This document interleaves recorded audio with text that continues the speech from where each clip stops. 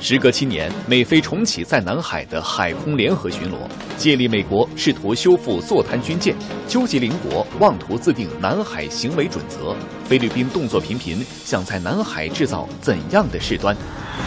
哈以双方达成放人换停火协议，加沙地带将迎四天停火。内塔尼亚胡放话，战事仍不会结束，直至消灭哈马斯。短暂窗口期后，巴以冲突又将如何博弈？今晚正在播出。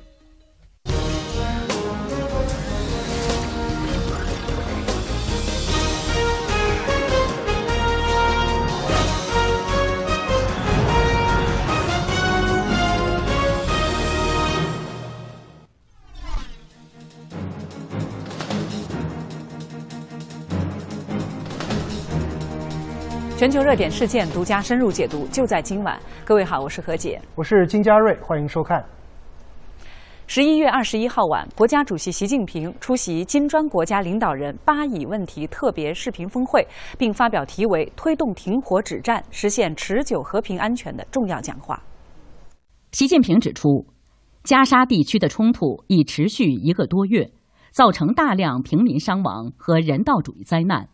当务之急。一是冲突各方要立即停火止战，停止一切针对平民的暴力和袭击，释放被扣押平民，避免更为严重的生灵涂炭。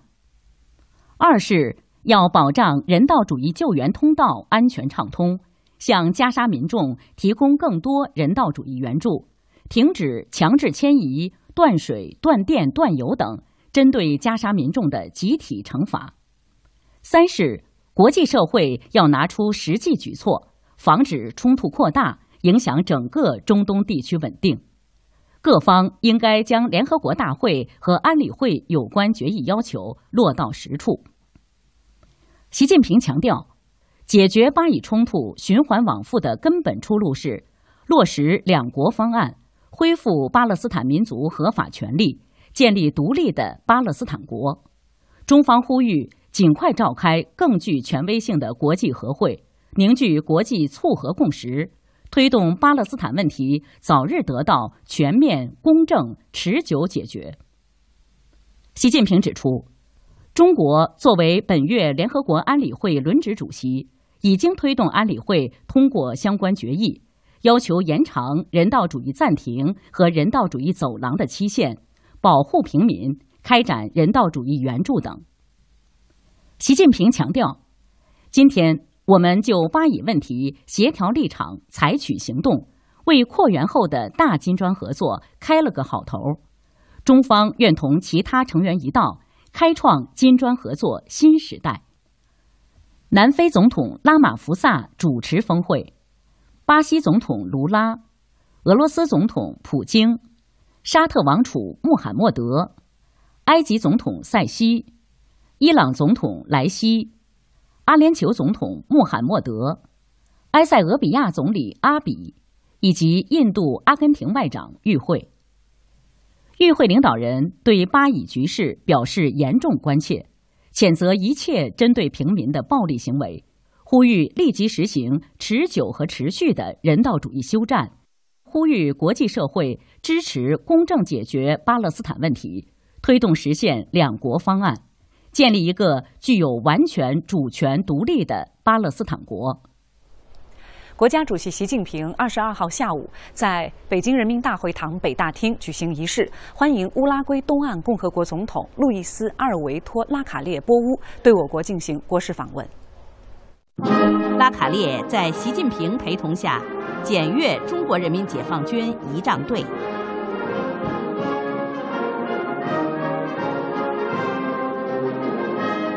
拉卡列是应习近平的邀请，对我国进行国事访问的。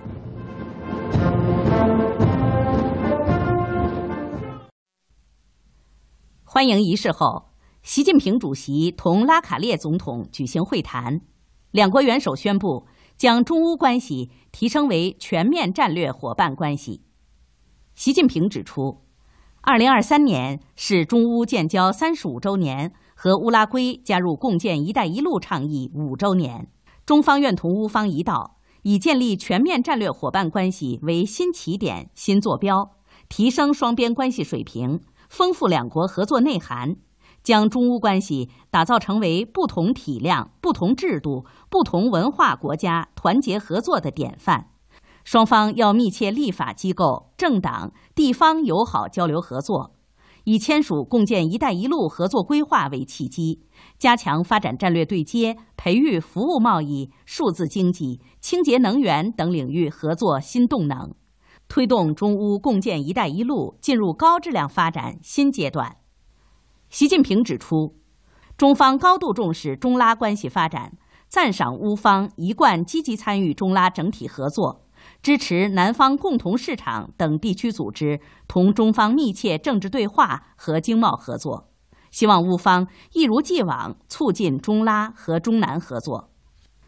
拉卡列表示，乌中关系已经超越经贸领域，呈现出多维度、高水平发展的良好态势。乌拉圭积极支持共建“一带一路”，希望加强经贸、科技、体育、旅游等领域合作。欢迎更多中国企业赴乌投资兴业，乌方愿为推动拉中关系发展和拉中论坛建设发挥积极作用。会谈后，两国元首共同见证签署共建“一带一路”合作规划，贸易投资、数字经济、绿色发展、农业、卫生、教育、文化、科技创新和海关检验检疫等领域多项双边合作文件。拉卡列访华期间，双方发表《中华人民共和国和乌拉圭东岸共和国关于建立全面战略伙伴关系的联合声明》。十一月二十二号下午，国家主席习近平在人民大会堂会见俄罗斯国家杜马主席沃洛金。习近平指出，明年是中俄建交七十五周年，中方愿同俄方一道，不断深化永久睦邻友好、全面战略协作。互利合作共赢的双边关系，为两国发展振兴注入新动力，为世界繁荣稳定提供更多稳定性。习近平强调，加强立法机构合作，对确保中俄关系行稳致远具有重要作用。希望俄罗斯国家杜马同中国全国人大加强立法经验交流，为双方合作提供更加完备的法律支撑。保障好共建“一带一路”倡议和欧亚经济联盟对接，深化在上海合作组织、金砖国家、二十国集团等多边平台的沟通协作。沃洛金表示，俄方愿同中方加强两国立法机构和党纪交流合作，积极落实两国元首重要共识，深化人民友谊和互信。为俄中新时代全面战略协作伙伴关系持续发展提供有力法律保障，为两国关系发展作出贡献。进入焦点对话，美国和菲律宾的军事合作再度升温。当地时间十一月二十一号起，美菲两国军队在南海展开为期三天的联合海空巡逻。菲方高调宣称，这是自二零一六年按下暂停键之后，美菲联合巡逻的首次重启。菲律宾总统马克思昨天在社交媒体上将这一次联合巡逻定义为加强两军互动合作的重大举措。而消息显示啊，这一次联合巡逻的线路是从距离台湾约100公里的菲律宾最北端岛屿雅米岛开始，向西进入南海。那么，时隔七年，美菲再度开启联合巡逻，与二零一六年的那一次相比，究竟有什么不同呢？我们来了解一下。二零一六年四月十四号，时任美国防长卡特在马尼拉与时任非总统阿基诺三世会晤后，对媒体宣布，两国于三月在南海展开了联合海事巡逻，而进行海事巡逻的主要装备是双方的海警船。当时，五角大楼还称，与菲律宾在南海的联合巡逻会常态化。但二零一六年六月，杜特尔特出任非总统后，立即叫停了与美国联合巡逻的任务。杜特尔特称，不允许非军队与外国军队在南海争议水域和中国起矛盾。直到今年二月，美国防长奥斯汀在访问菲律宾期间，双方同意恢复在南海的联合巡逻。根据非军方透露，昨天起，菲方出动三艘海军舰艇、两架 F/A 五零轻型战斗机。和一架 A 二九 B 超级巨嘴鸟轻型攻击机，美方出动一艘滨海战斗舰和一架 P 八 A 反潜巡逻机，在南海展开联合巡逻。与七年前的相比，美菲两军出动的装备都带有进攻属性。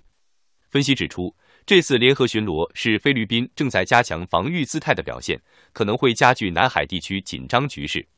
针对美菲重启南海的联合巡逻，中国外交部发言人毛宁今天回应称，中方已向非美两国表明立场，联合巡逻不得损害中国的领土主权和海洋权益。相关话题马上来连线的是特约评论员王强，王强你好。你好，嗯，两个层次啊，一个是相比二零一六年这一次美菲联合巡逻的装备是大幅升级了，那么另外一个层次呢是线路的问题，从靠近台湾一侧的菲律宾岛屿出发进入南海的线路，怎么来解读美菲这么做的目的？我想呢，菲律宾的这个举动凸显了菲律宾当局现在的一个政治投机行为。我们知道，菲律宾这是在明目张胆引发更大范围和更深程度上和中国的矛盾。我们知道，中菲之间的南海主权争执呢，它的焦点在于仁爱礁这件事本身就是菲律宾当局在一九九九年五月九号借我们中国大使馆遭到袭击之后，趁机一个偷鸡摸狗的行为的结果。二零一六年，菲律宾前总统阿基诺三世上台之后，看到美国当时在力推亚太再平衡战略，于是再次借机与美国在联海进南海进行一个联合搞事。这一次，我想同样也是这样的原因。原本中美两国元首已经就中美两国关系呢设定了一个基本的相对稳定的框架，但是菲律宾看到其中关于地缘政治当中呢两国实际存在一个根本性的分歧，于是在美国的怂恿之下进行了这一次所谓的联合巡航。而他选择靠近台湾菲律宾岛屿出发，无非就是狐假虎威，各自所求而已。菲律宾知道自己没有办法单独承受来自解放军的这种军事压力，那么他从台湾出发呢，就给了一个美军更广泛介入其中的理由和借口。但是我们从双方这次出动的兵力和武器装备上来看，这种联合巡逻其实更像一个走秀行为，因为双方的四架飞机，两架是螺旋桨飞机，它的 A 二九攻击机本身就是一种螺旋桨的教练机，作战半径只有五百公里，载弹量呢也就是几颗炸弹而已。而引进韩国的 F A 五零也是教练机，它只有有限的空战能力。嗯，派出来的四艘海军的舰艇都是一些近海作战的非主力舰艇，因此他们这种所谓的进攻性，在我看来呢，恐怕只是适合在菲律宾南部进行反恐作战的一种行动。所以他们真正想要威胁的目标，实际上是难以产生任何实质性影响的。主持人，嗯，好，刚才你也提到了，二零一六年阿基诺三世啊开始做这样一个联合巡逻，然后杜特尔特时代暂停，现在又开始了，是您所口中所描述的走秀。我们想了解的是，其实今年九月份他们已经进行过一次联合的巡航，那么这样的走秀今后它的内容还会升级吗？我想这种升级或者是是这种以后的走秀呢，就取决于中美两国关系。是不是能够在地缘政治当中彻底的稳定下来？但是我们看到，在这一次的呃中美元首的峰会当中呢，我们看到中美两国已经就在相关领域的合作达成了共识，在一些地缘热点问题上，其实还是存在一些结构性的难以调和的这种矛盾。因此呢，美国实际上没有放松在地缘冲突当中挑起与中国这种矛盾，把菲律宾当成马前卒是它的既定战略。在这种既定战略引导之下，我想美国和菲律宾军事合作的这个程度和烈度只会升级而不会降低。主持人。好的，谢谢王强。那么，联合巡逻之外，对于在仁爱礁非法坐滩的菲律宾军舰，美国也要插手。环球时报援引日媒报道称，美国已经开始就菲律宾修复非法坐滩军舰提供建议。菲律宾高级官员透露，菲律宾与美国已开始就该船的结构进行非正式讨论，作为起草具体修复计划的一部分。根据讨论，美国将在修复工作进行期间提供所谓材料运输、安全保障等协助。美国一名高级国防官员称，美方完全支持马尼拉修复这艘老化船只，并愿意应菲方要求提供援助。仁爱礁地处南沙群岛，隶属我国海南省三沙市。一九九九年五月，菲律宾退役军舰“马德雷山号”以搁浅船身损坏为由，开始长达二十四年的非法坐滩。今年以来，菲方船只已多次擅闯仁爱礁海域，企图向坐滩军舰运送加固物资。而在菲方挑衅背后，总有美方撑腰。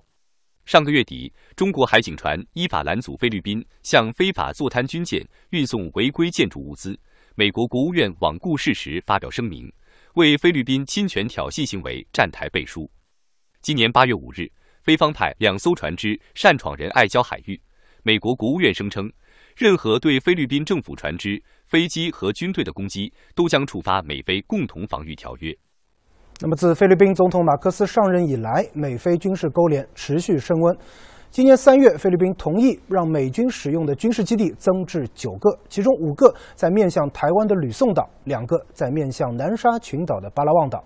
近日有消息传出啊，美军可能将获准进入更多的菲律宾军事基地。而在军事行动上，今年四月，美菲举行了史上最大规模的肩并肩联合军演，高调宣示美菲军事同盟的关系。此外，美菲还多次拉拢日本、澳大利亚、加拿大等国进行联合演习，在南海拼凑小集团、小圈子，不断破坏地区和平稳定。这一节的访谈，我们要来连线的是南海战略态势感知计划的主任胡波，胡主任您好。你好。嗯，美方又有新的做法，他要提出对菲律宾修复非法坐滩船只要提供材料运输、安全保障等等协助。首先想请问您，他通过什么样的方式提供这些协助？您怎么来预判？首先，这个消息我觉得还有待考证，这是菲律宾方面转述的二手信息，真实性有待考证和观察。嗯，嗯，目前为止，虽然菲律宾方面一再要求让美国直接。下场帮忙进行补给，但是美国仍极力避免直接下场帮菲律宾为作战军舰提供补给。嗯，那目前提供的与支支援限于行动规划和情报分享。嗯，也就是说，当前美国希望南海天天出事儿，但是还是不希望南海出大事儿。因此，我不认为美方现在会直接采取上述的措施，或直接派船进入仁爱礁海域协助菲律宾进行。补给和进行船只修复。嗯，那如果美方真这么做，那无疑就会引发中美之间的海上对抗和危机。我觉得这个是美国要三思考量的。嗯，那如果美方只是提供建议啊，让他成功的修复了坐滩的船只，我们应该怎样回应呢？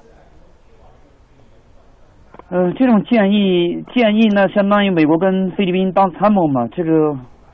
我觉得我们也做不了什么。我觉得我们不必理会，我外交上抗议嘛。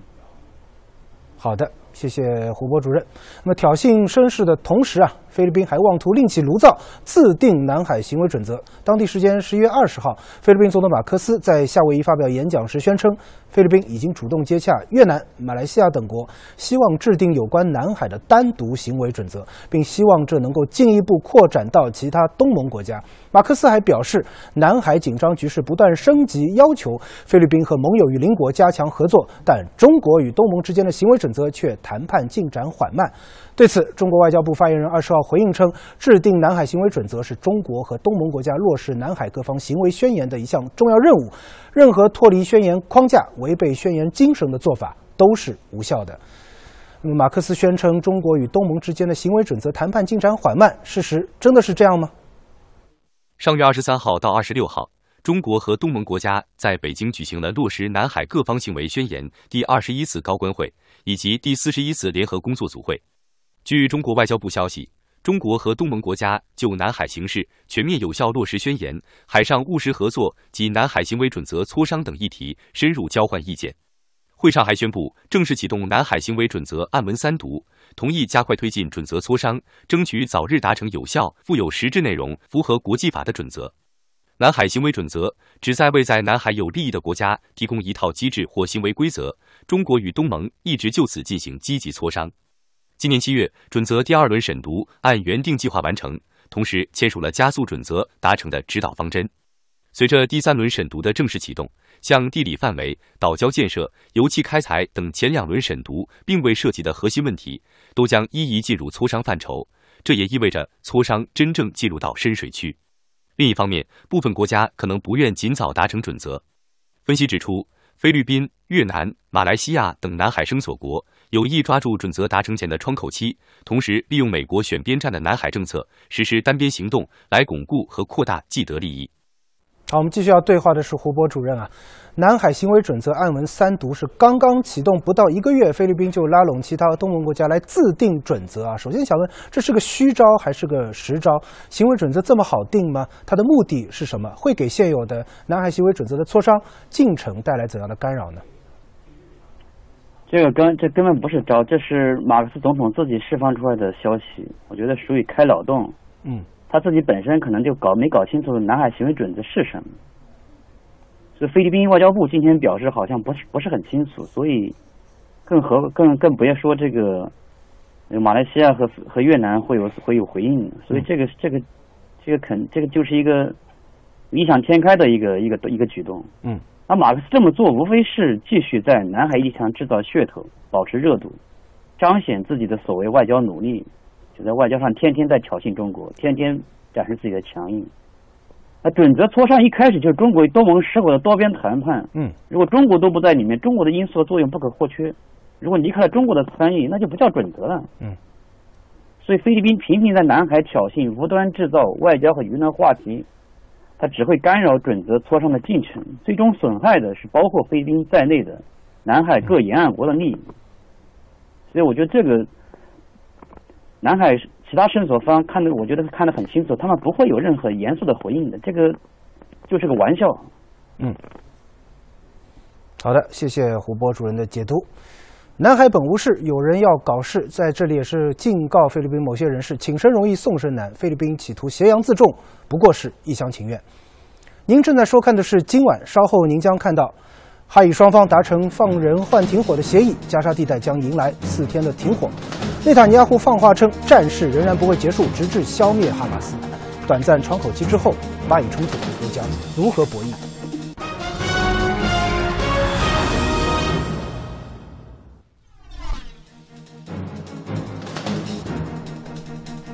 好，接下来进入全球眼。今天凌晨，以色列和哈马斯双双宣布已经达成协议，同时同意临时停火，并且互相释放部分的遭扣押人员。哈马斯政治局成员穆萨阿布马尔祖克在二十二号表示，加沙地带将于当地时间的二十三号上午的十点起停火。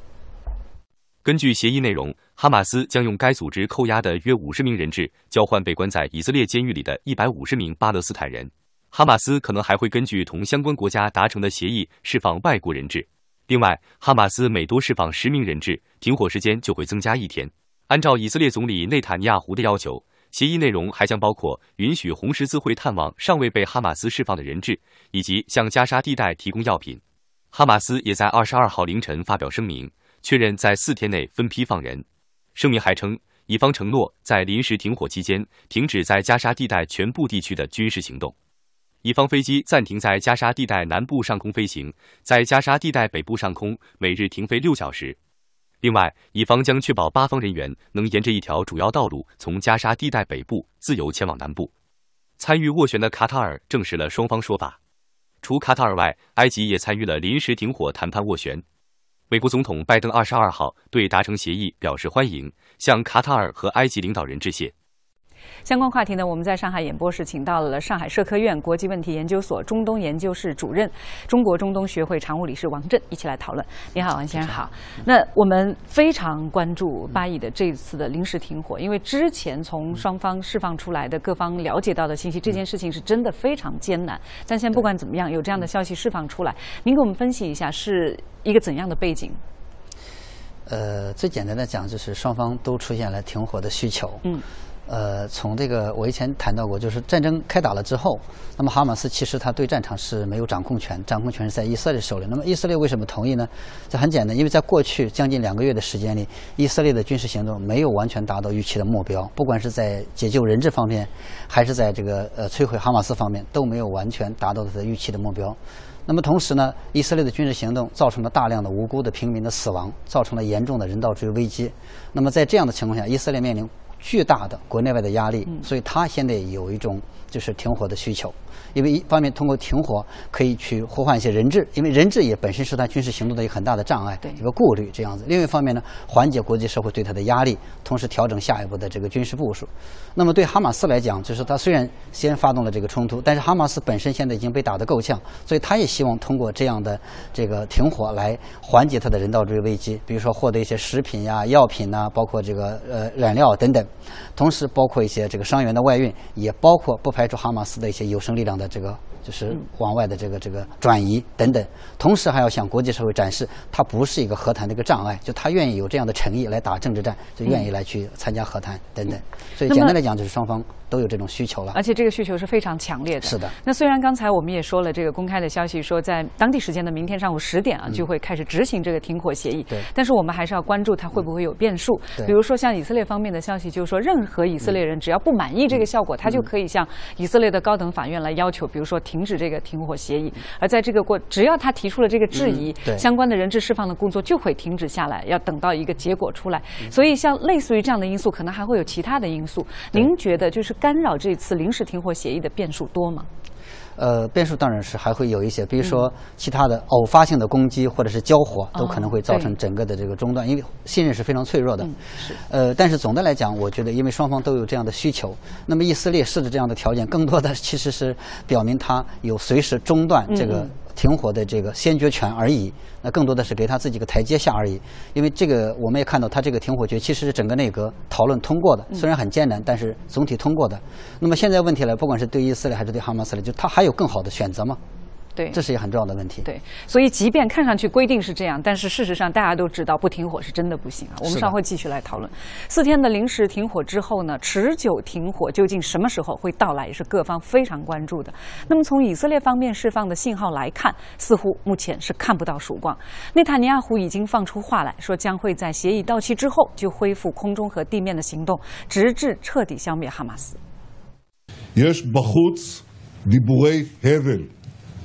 כאילו אחרי ההפגה להשבת, ההפוגה להשבת חטופינו, אנחנו נפסיק את המלחמה. אז אני מבקש להבהיר, אנחנו במלחמה, ונמשיך במלחמה. נמשיך במלחמה עד שנשיג את כל היעדים שלנו. 而在临时停火正式开启之前，以色列的行动也仍在继续。从昨晚到今天，加沙多地遭到了以军的袭击。 当地时间二十二日早上，加沙上空响起多起爆炸声，被毁的建筑物上空升起滚滚浓烟。昨晚，以色列还分别对加沙地带中部的戴尔巴拉赫和南部城市汉尤尼斯分别发动了袭击，两次袭击已造成近三十人死亡。近日，以色列方面多次表示，在加沙北部的军事行动结束后，将很快在加沙地带南部开展地面行动，并呼吁汉尤尼斯的居民撤离。但随着一百七十万加沙地带居民南撤，目前加沙南部人口已超过二百万。外界担忧，以方下一阶段的军事打击将造成更大人道主义灾难。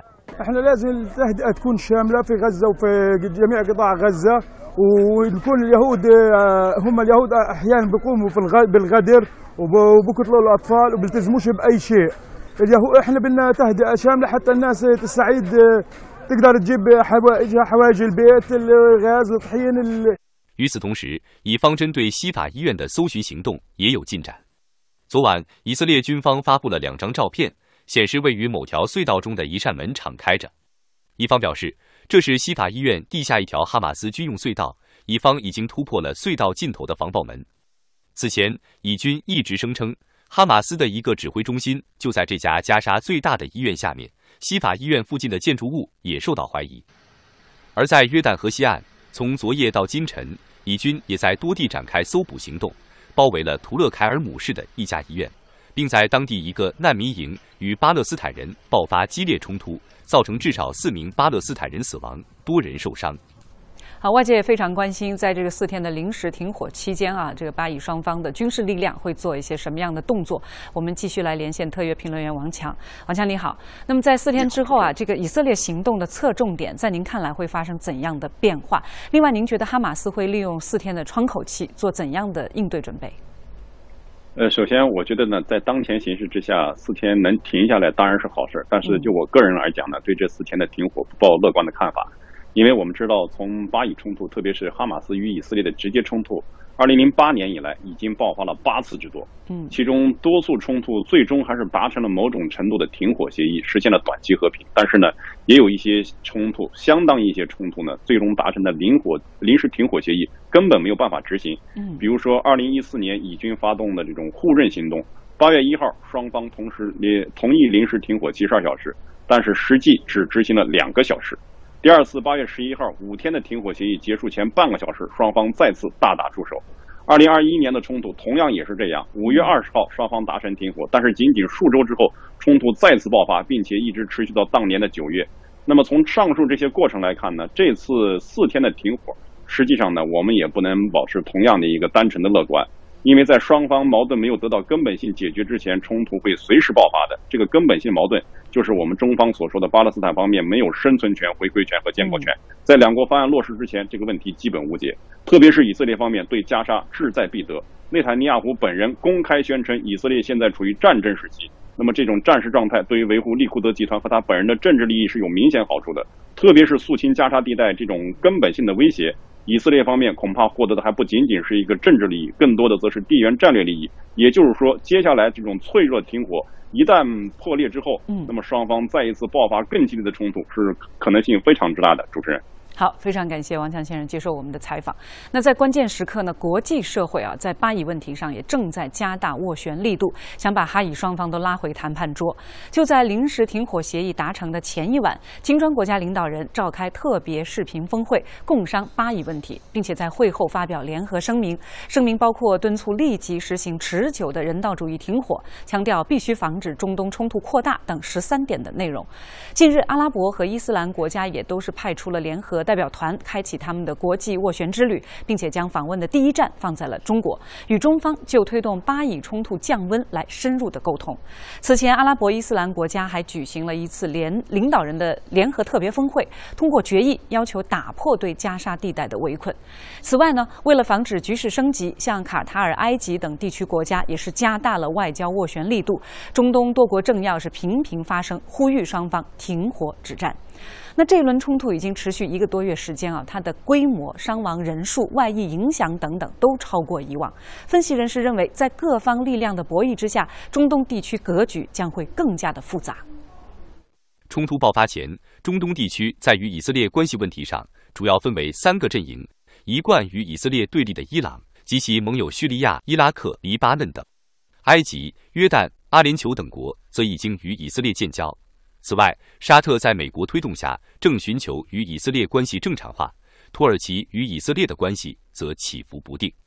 冲突爆发后，多国逐渐统一立场，一致谴责以色列的战争行为，力挺巴勒斯坦。与此同时，以色列与地区一些国家矛盾加剧，处境越发孤立。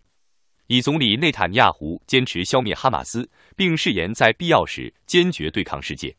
对此，一些美国和阿拉伯国家官员认为。以色列忽视美国在伊拉克战争和阿富汗战争中的教训，可能会陷入长期暴力冲突的泥沼。此轮冲突还在进行中，分析认为，中东地区格局未来或将发生重大变化，只是这种变化的具体形式现在尚不明晰。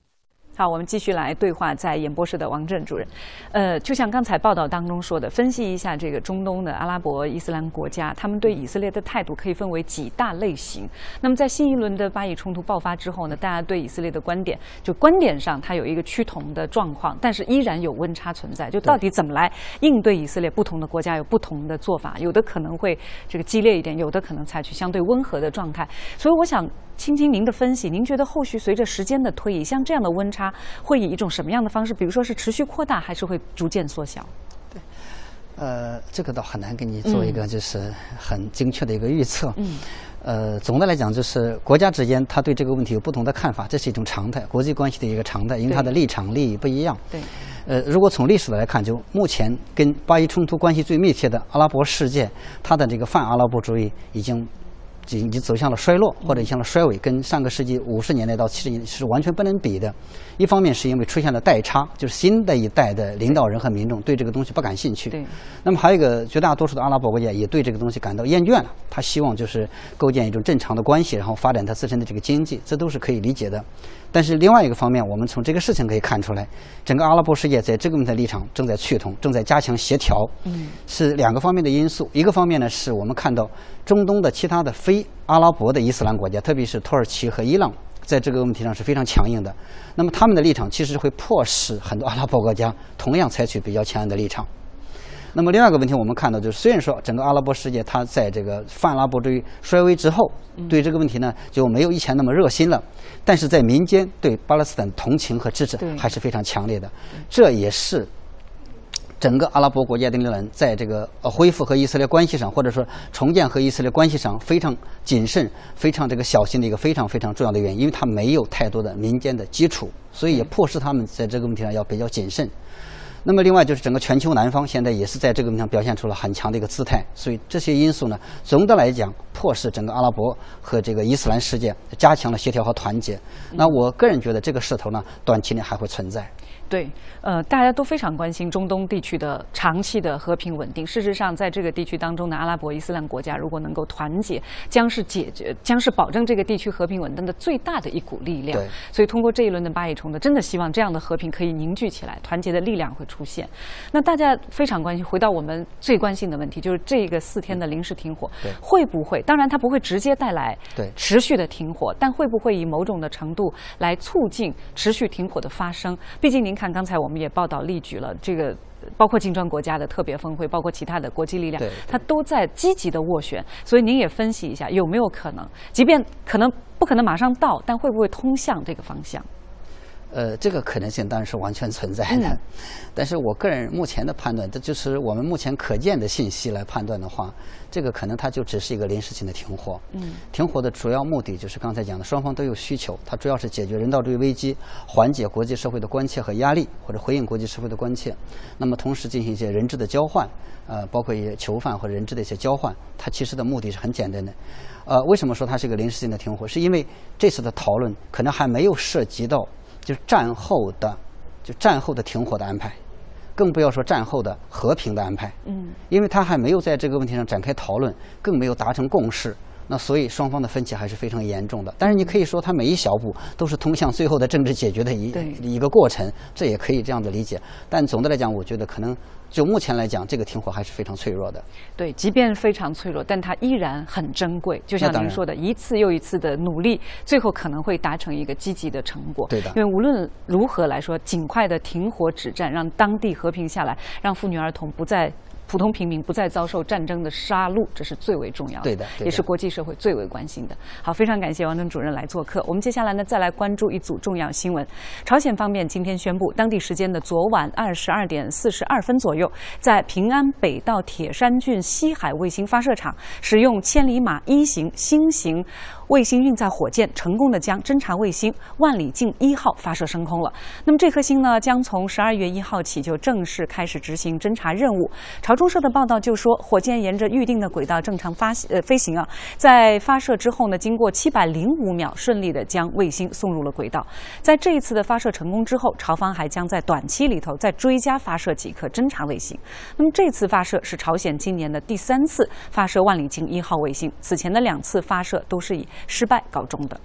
那么朝鲜射星成功，韩国是迅速做出了反应。韩国总统尹锡悦今天就批准部分停止九幺九军事协议条款的效力。韩国总理韩德洙在当天举行的临时国务会议上就说，这个动作是为了维护韩国国家安全采取的必要措施。部分效力终止之后，韩方在朝韩军事分界线一带的对朝侦察监视活动就将会立即恢复。时间回溯到二零一八年的四月，时任韩国总统文在寅和朝鲜最高领领导人金正恩在板门店会晤之后，双方达成了九幺九军事协议，其中就明确规定啊，朝韩在边境地区停止一切敌对行动，并且设立禁飞区。